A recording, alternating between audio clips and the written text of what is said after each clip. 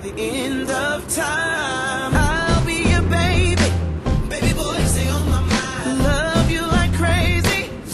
Oi, oi meninas, tudo bem com vocês?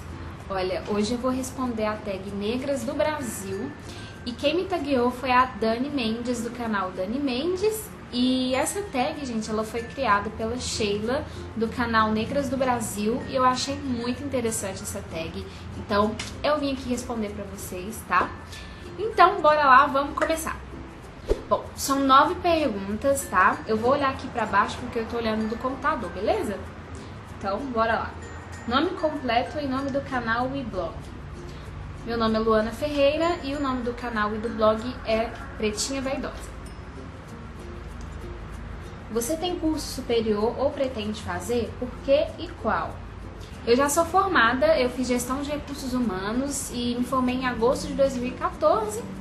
Só que eu não trabalho na área e se eu fosse trabalhar na área eu gostaria de trabalhar na parte de gestão de pessoas, recrutamento e seleção, essas coisas. Quando você se descobriu negra? Hum, essa pergunta é boa. Porque apesar de que muitas pessoas vão pensar, como assim? Como você se descobriu negra? Mas sim, gente, tem isso. Mas comigo foi diferente, assim, eu sempre, desde que eu me entendo por gente, eu sei que eu sou negra, porque minha mãe sempre me chamou de pretinha, por isso também o nome do canal. É, minha família, da parte da minha mãe, ela é negra, então é aquela convivência mesmo. Apesar de que eu convivi também muito com a família do meu pai, mas a família do meu pai é branca. Mas assim, não teve essa diferença assim de cor. Mas, desde que eu me entendo por gente, eu sei que eu sou negra e eu tenho orgulho disso. Qual o estereótipo sobre a mulher negra brasileira que mais te irrita? Tem muito, gente. Uma coisa que me irrita bastante é que as pessoas têm mania de falar que a negra tem mais corpo, também aquela coisa de falar que negro, uh, a pessoa negra ela sabe sambar, que ela sabe dançar e que não sei o que.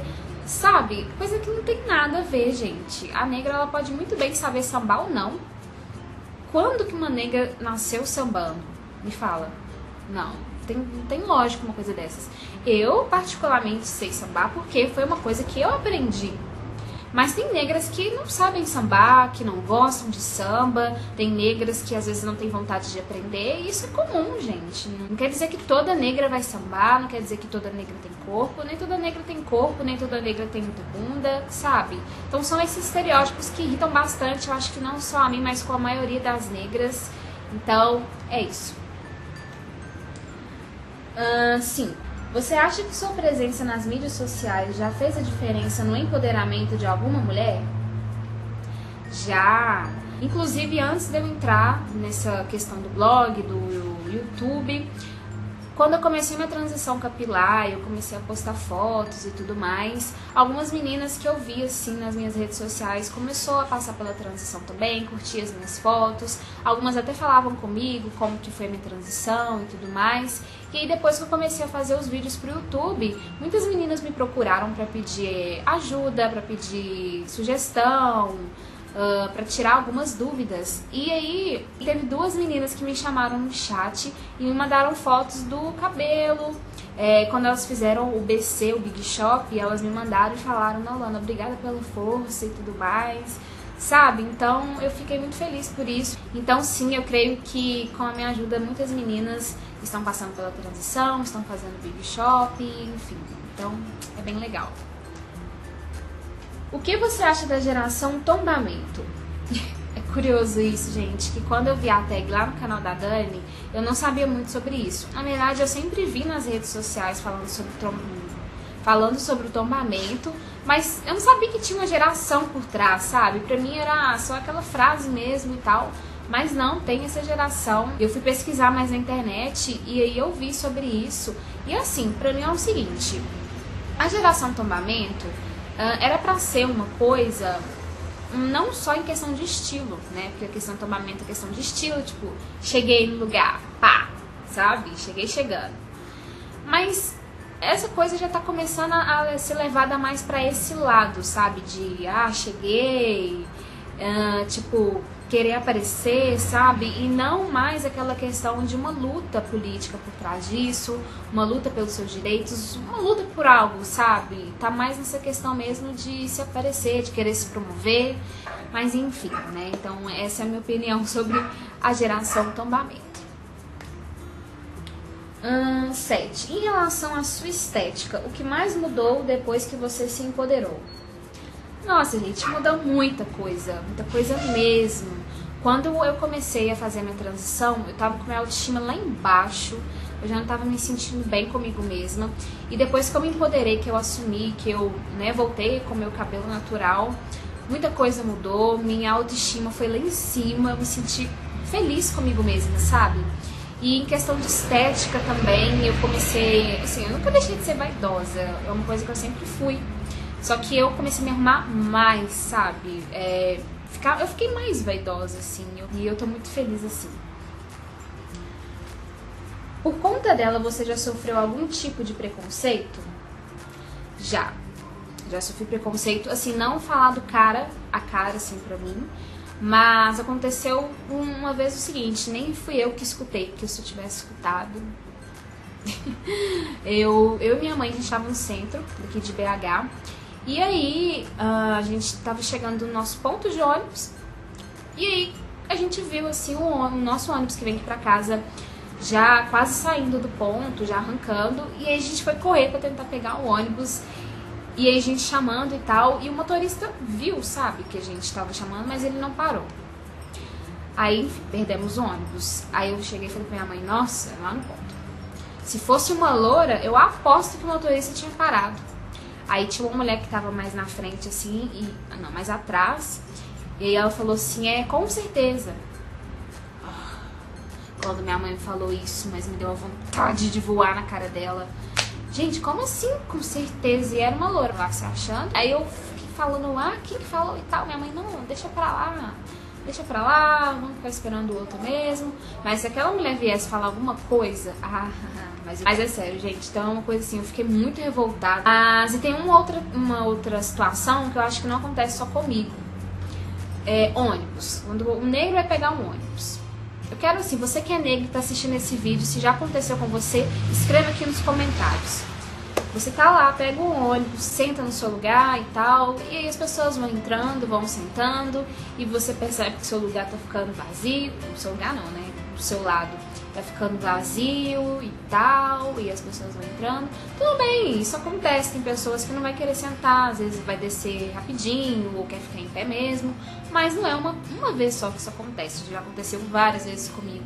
As pessoas vão sentando e tal, e, e tipo assim, não tem nada de errado com o lugar. Às vezes eu dou uma despistada ali faço assim, pra saber se eu tô fedendo ou olho no espelho, vejo se meu cabelo tá atrapalhado, se meu dente tá sujo de batom, sei lá, gente. Eu olho assim, não, tem nada demais, tá tudo normal. E a pessoa não senta do seu lado. E, tipo assim, eu não ligo. Eu adoro ficar sozinha assim, sentar num banco, assim, principalmente atrás, que eu gosto de sentar no fundo. E não senta ninguém do meu lado, eu adoro. Adoro mesmo, gosto. Aí eu coloco meu fone de ouvido, leio livro, enfim. Mas a gente sente isso, sabe? Que as pessoas não sentam do seu lado. E com certeza, se eu não tô fedendo, se meu cabelo não tá atrapalhado, enfim, é por quê? Porque não quer sentar? Ah, para, se fosse uma vez ou outra, tudo bem, mas sempre. Isso tá sempre acontecendo comigo. É porque eu sou negra, óbvio. Aí, sabe por que, que eu falo isso? Porque toda vez é isso. Quando uma pessoa da frente ou de qualquer lugar desce, a pessoa vai lá e senta. E por que, que não sentou onde que, que tava vago? Hum? Muita gente vai falar que não é preconceito, mas é. Quem é negro, quem já passou por isso, sabe como é. Então foram essas duas situações que já aconteceu comigo. Uh, a próxima pergunta: O que significa ser uma negra do Brasil para você? Uma negra do Brasil para mim é aquela negra que ela batalha pelos seus objetivos, que ela é determinada, a negra guerreira, ela não dá confiança para essas conversinhas, com piadinhas, e é assim que tem que ser, sabe? Eu acho que a negra do Brasil, ela cada vez mais tem que ser assim, mais independente, lutar pelos seus direitos, pelos seus objetivos. Cada dia mais eu vejo que as negras, elas estão fazendo isso, sabe? Mas infelizmente ainda tem aquelas negras que se deixam abater por conversinhas, por risadinhas que acabam até mesmo se vitimizando. E é triste isso, sabe? Ela tem que arrasar, sair de vando por aí mesmo. Quer usar um turbante, usa o turbante. Quer usar um black power, usa um black power e vai arrasar, sabe? Aquela negra que quer assumir o seu cabelo e não vai ter não vai ligar para a opinião dos outros. Então eu acho que a negra do Brasil, ela está sendo assim, tem que ser cada dia mais assim. E não, chega até suave falar. não só no Brasil tem que ser assim, todas as negras do mundo. E é isso. Bom, gente, então essa foi a tag Negras do Brasil. Eu espero muito que vocês tenham gostado. E se você aí que é negra do canal aqui Pretinha Vaidosa, tem um canal no YouTube também e gostou dessa tag, faça ela e me marca depois para eu ver também. Porque quanto mais negras se juntarem e mostrarem mesmo pro que veio, melhor. se você gostou do vídeo, não deixe de dar aquele joinha para ajudar na divulgação. Compartilhe com suas amigas, com todas as mulheres negras que você conhece. Ah, e com as brancas também, por que não? E se você chegou agora e está gostando do conteúdo aqui do canal, se inscreva aqui embaixo que eu vou adorar ter vocês aqui comigo. Antes de finalizar o vídeo, eu queria mandar um beijo aqui para Dayana Raquel, que ela tinha me pedido lá no Facebook para mandar. Então, um beijo para você, Dayana. Muito obrigada pelo seu carinho, tá? E é isso, então eu vou ficando por aqui. Um beijo da Pretinha e até o próximo vídeo. Tchau!